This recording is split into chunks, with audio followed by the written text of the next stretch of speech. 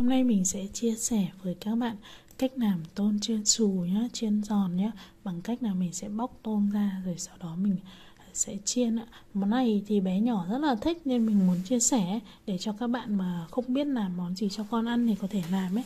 Đấy, chứ còn mình không phải là đầu bếp cho nên nhiều khi công thức nó cũng không được chuẩn. Mình theo làm theo cách của gia đình mình thôi. Mình sẽ ướp một chút xíu tiêu nhưng không nhiều đoạn với cả hạt lêm để cho tôm nó không bị tanh ấy. Rồi ướp ướp nhiều tiêu thì bé nhỏ sẽ không ăn được. Thế nên chúng ta ướp một chút xíu thôi.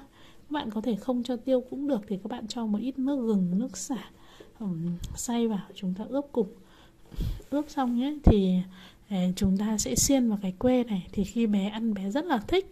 Vì cầm, mỗi bé cầm một cái que này, chúng ta xiên này, và mình sẽ tẩm nhé, hai lần bột. Một bột, lần là bột chiên giòn, sau đó lần thứ hai là bột chiên xù. Qua hai lần bột như vậy thì tôm của chúng ta nó ngấm bột đều.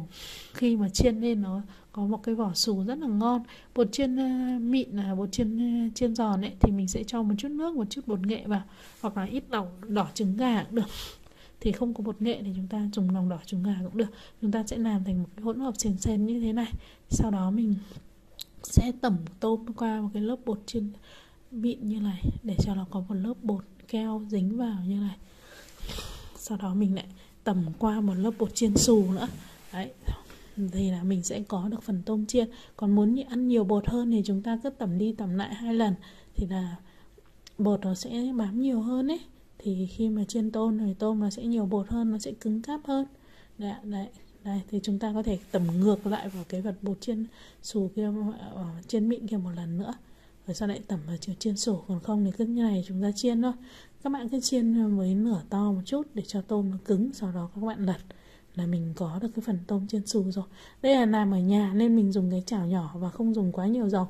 Còn nếu mà làm trong mâm cỗ thì chúng ta cũng có thể làm như thế này. Nhưng mà các bạn chiên với lửa thật là to à, với thật là ngập dầu và dùng cái chảo to nhé mà mua tôm to nhé để bày nếu mà nhà có khách ấy cỗ còn đây là mình làm chiên cho bé nhỏ ăn. Nên mình làm rất là đơn giản này thôi. Và khi ăn thì bé không cần phải no là hóc xương nữa. À, hóc vẩy viết các thứ thì mình bóc hết rồi. Vì thường thường trẻ con này sẽ không ăn đầu nên các cháu ấy ăn từ cái phần đuôi lên thì ăn phần mình ấy. Nó rất là ngon như thế này. Cứ làm như này.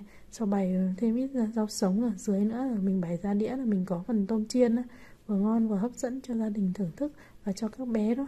Đấy ạ ở đây mình bày tự in là đinh năng để cho nó đẹp đấy để trang trí đó. Đấy. đấy và giờ mình sẽ dừng cái clip này ở đây. Xin chào các bạn.